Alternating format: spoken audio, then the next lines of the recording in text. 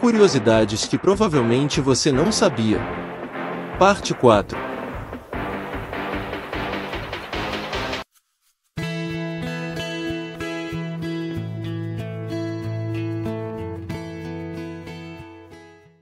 Olá, meninos e meninas!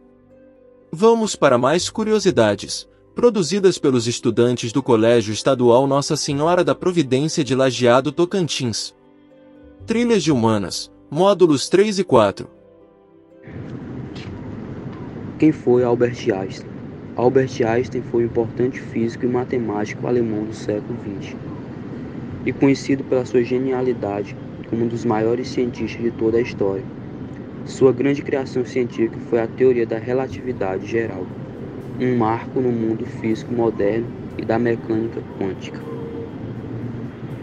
Aleijadinho, um dos grandes artistas do Brasil colonial, é considerado o mais importante escultor do período artístico. É conhecido como Barroco Mineiro. Bichano, entre uma guerra e outra, o poderoso romano Júlio César descansava em casa ao lado de seu animal de estimação. Até aí tudo bem. O negócio é que seu bichano era uma girafa. Reza a lenda que o bicho, inclusive, vira e mexe, sentava-se aos pés do dono. Afinal, o bicho também gostava de carinho. Olá, sou a professora Agnes, estarei representando a aluna Vanessa e vamos estar falando sobre Dandara. Dandara foi uma mulher negra guerreira que se destacou na defesa dos escravos e na construção do quilômetro de Palmares, um local que abrigava escravos que fugiam. Embora não haja registro, Acredita-se que Dandara era brasileira ou uma africana que teria vindo ainda pequena para o Brasil. Foi a companheira de Zumbi dos Palmares e com quem teve três filhos. Uma vez que não aceitava voltar a ser escravizada, é, após ter sido presa, Dandara teria pulado de um abismo em 1694, resultando-se na sua morte. Durante os ataques ao quilômetro, é, Dandara teria lutado usando técnica de capoeira, Dandara, que se tornou um ícone feminino na luta contra a escravidão, ela teria sido presa e não aceitava voltar a ser escravizada. Sou a estudante Nicole. O francês Napoleão Bonaparte também não era muito fã de água. Em cartas para a mulher Josefina, o general pedia que ela não tomasse banho. A justificativa: gostava de sentir seu cheiro natural as ordens teriam sido estendidas a seu exército. Segundo contam alguns livros, sentia-se de longe o cheiro ruim de suor dos soldados. Juscelino Kubitschek, presidente do Brasil entre 1956 e 1961. Além de ser o responsável pela construção da nova capital do Brasil, Brasília, seu governo representou muitos avanços nas áreas de desenvolvimento industrial, econômico e social. Quem foi Marie Curie? Em 1898, Marie anunciou à Academia Francesa de Ciências a descoberta do rádio do polônio.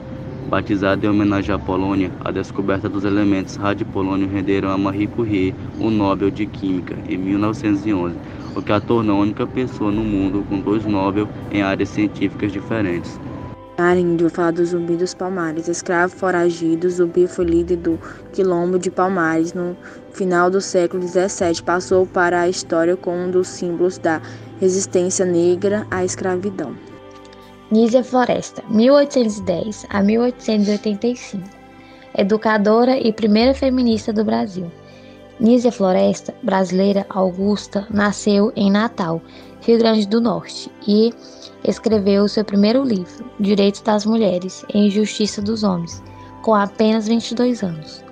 Anos depois, Nízia Floresta abriu um colégio para meninas, em que o ensino não se limitava à costura e trabalhos domésticos, mas ensinava também gramática, matemática, ciências, músicas, entre outros.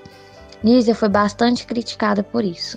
Hoje é conhecida como a primeira feminista brasileira e, em sua homenagem à cidade em que nasceu, Antiga Papari, passou a se chamar Nízia Floresta.